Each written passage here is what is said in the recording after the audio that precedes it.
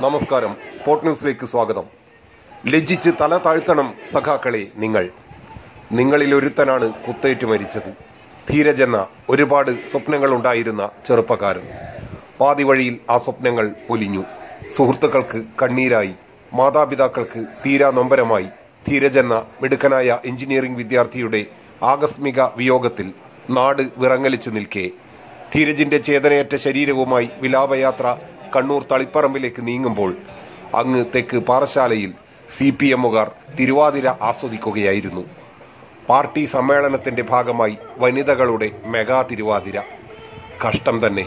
ധീരജിന്റെ ചിതയണയും മുമ്പ് വേണമായിരുന്നോ സഖാക്കളെ ഈ തിരുവാതിരക്കളി?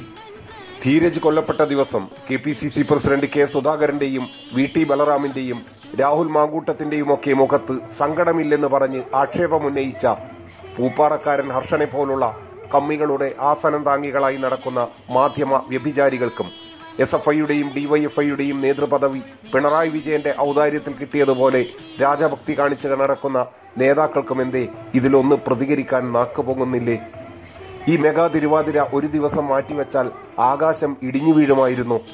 അപ്പോൾ സഖാക്കളെ നിങ്ങൾക്ക് ധീരജ് എന്ന ചെറുപ്പക്കാരൻ മരിച്ചതിൽ സങ്കടമല്ല. സന്തോഷമാണുള്ളതെന്നല്ലേ ഇത് കാണുന്നവർ ധരിക്കേണ്ടത്?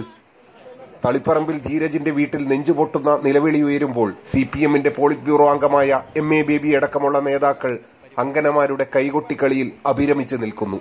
നിങ്ങൾക്ക് എന്ത് ദുഃഖമാണുള്ളത്? ഒരു രക്തസാക്ഷിയെ കിട്ടിയതിന്റെ ആവേശം. അല്ലാതെ എന്ത്?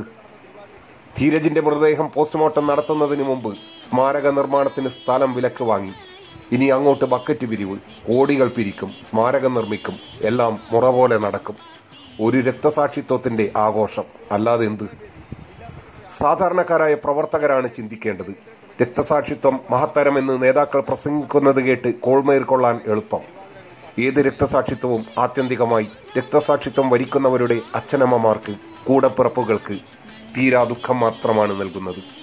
രക്തസാക്ഷിത്വം ആഘോഷമാക്കുന്നവർ ഇത്തരത്തിൽ തിരുവാതിര കളിക്കും.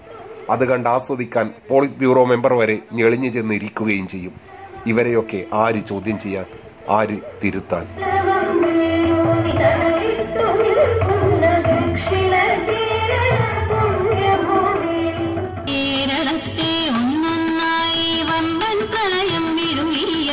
രക്ഷയേകി പോറ്റി മാർസിസ്റ്റു പാർട്ടി